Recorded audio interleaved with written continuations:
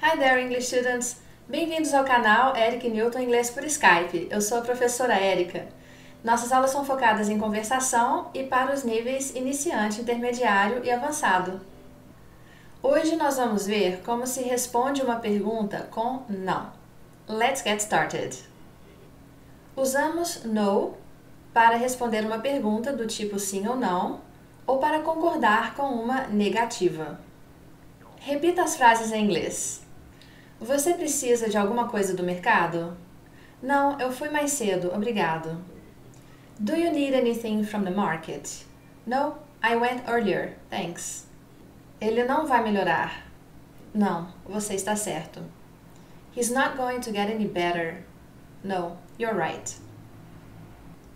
Você tem algum dinheiro? Não, eu gastei tudo em livros.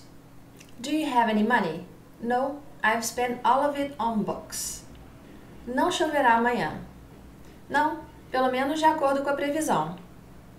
It will not rain tomorrow. No, at least according to the forecast.